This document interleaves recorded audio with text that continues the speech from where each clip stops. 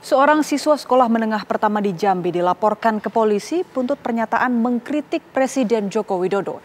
SFA mengkritik terkait pencalonan putra sulung Jokowi Gibran Raka Buming Raka sebagai calon wakil presiden 2024. Inilah video anak SFA saat mengkritik Presiden Joko Widodo terkait pencalonan Gibran Raka Buming Raka sebagai calon wakil presiden dari Prabowo Subianto.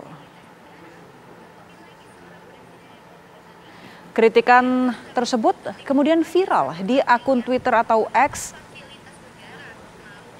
di mana aksi berani dari SFA ini melontarkan kritik akhirnya berujung pelaporan dirinya oleh sejumlah orang. Keluarga SFA pun terkejut atas pelaporan yang ditujukan kepada Atak, anaknya. Pasalnya SFA masih duduk di kelas menengah pertama.